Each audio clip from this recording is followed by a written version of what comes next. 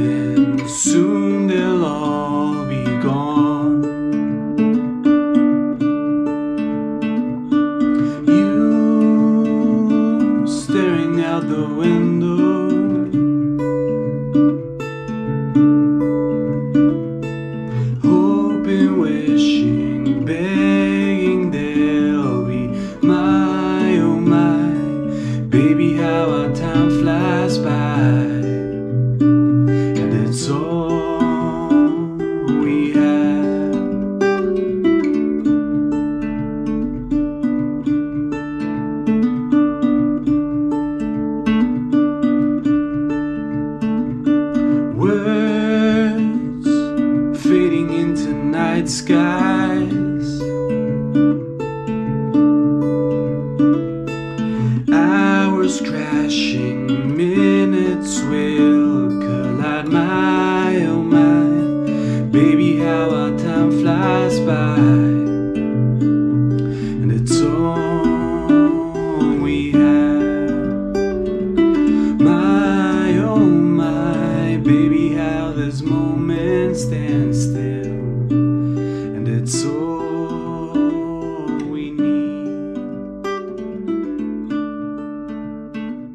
onda? ¿Cómo están? Bienvenidos a un nuevo video. Eso que escucharon al inicio es la canción más reciente en la que he estado trabajando y bueno, he estado practicando algunos ejercicios para escribir canciones y por eso nace este video. Tiene mucho que ver con esta idea de cargar una libretita, entonces pues siguiendo un poco la idea de los últimos dos videos, volviendo a lo básico y cuando fui a cazar esta guitarra acústica, quiero darles los tips que yo creo tal vez más esenciales o más útiles para escribir canciones y tal vez escribir mejores canciones que antes. No olviden suscribirse allá abajo y dejar su like si les gusta este tipo de contenido, así como ir a checar los otros dos videos. El primer ejercicio es el más sencillo, pero es muy efectivo y creo yo que es bueno considerarlo o tenerlo en mente siempre que estemos escribiendo algo nuevo.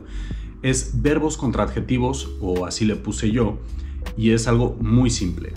Utilizar mejores verbos en las situaciones correctas y evitar los adjetivos o descripciones innecesarias de las cosas y las situaciones. Para darles un ejemplo, traduje algunos fragmentos de la canción del inicio al español y ahora les voy a leer esas conversiones, esas transformaciones. Entonces, este no es la traducción literal, es nubes agarrándose a las hojas verdes y cafés de los árboles. Pinta una escena, es clara, es efectiva, pero puede ser más corta, puede tener un poco más de misterio, de más fuerza y tener el mismo efecto con la escena. Nubes, en lugar de agarrándose, aferrándose, tiene más fuerza, más intensidad a las hojas de los árboles. Si están aferrándose, sabemos que las hojas van a ser verdes o naranjas o rojas o cafés. Entonces, los colores, esos adjetivos están de más. En especial con la siguiente línea de la canción que menciona que el otoño ya llegó. Entonces no es necesario describir las hojas de otoño, porque ya mencionamos al otoño. Aquí tienen un ejercicio para poner esto en práctica. Agarren uno de sus versos de sus canciones, subrayen los verbos y luego busquen sinónimos o otros verbos que puedan funcionar en su lugar y vean cuáles tienen más fuerza, reemplácenlos y practíquenlo. El segundo ejercicio es tal vez un poco más complejo, pero es uno de mis favoritos y creo yo que practicarlo es muy útil para muchísimas cosas que tengan que ver con la creatividad. Es utilizar metáforas para crear nuestro propio imaginario. Nuestro propio imaginario me refiero a crear nuestro mundo, nuestro universo. Y con estas metáforas describir a detalle, no a medias, para que podamos invitar hacer interesante este mundo y este universo a quien nos escucha y así se adentre y se sienta completamente inmerso. El ejemplo es este. Palabras se desvanecen a cielos nocturnos. Las horas se estrellan, los minutos colapsarán.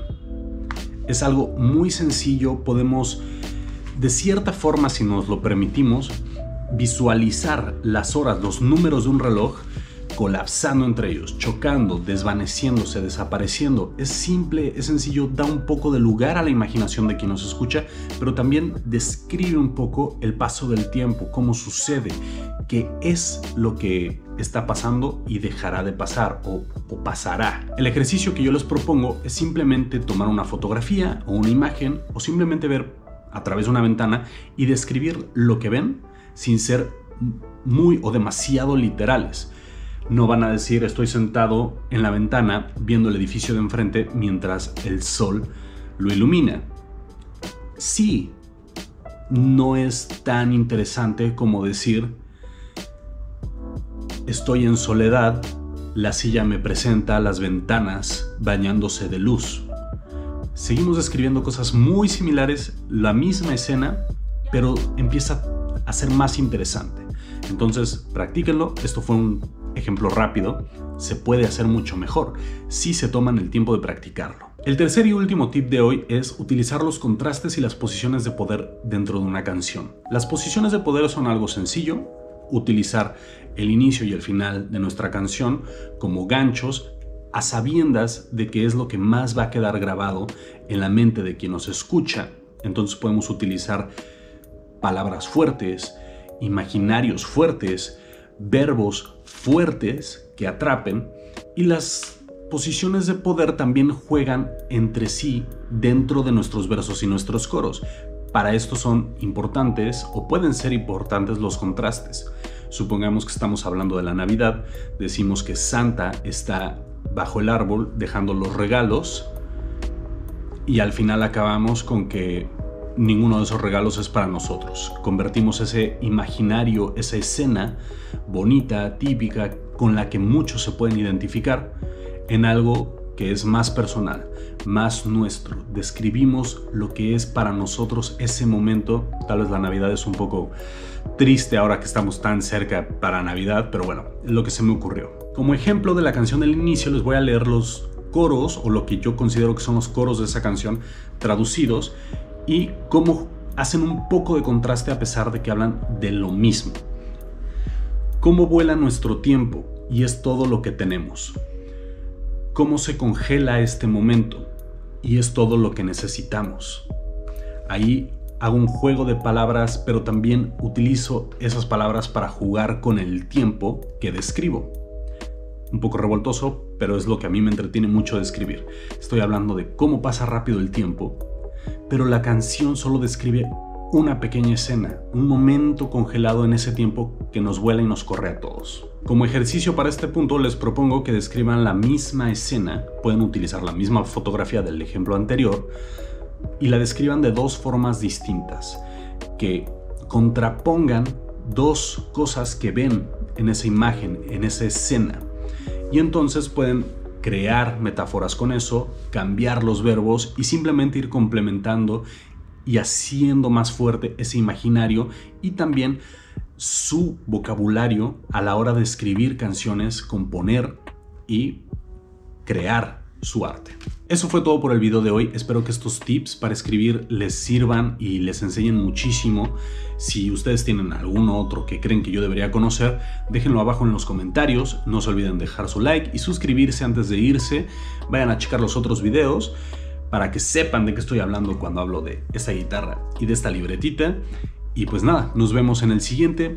Sigan sonando.